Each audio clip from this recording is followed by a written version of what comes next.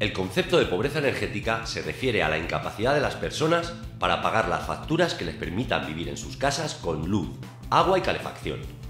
Se podría pensar que estos conceptos son superfluos y no básicos para la supervivencia.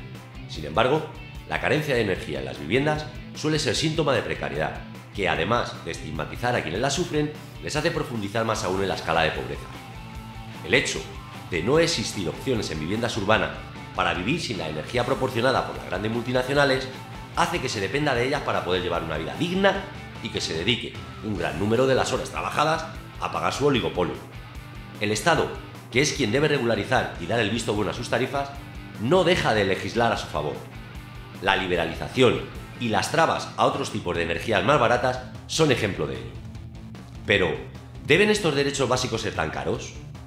¿Por qué tienen las grandes multinacionales tantas facilidades por parte de la Administración?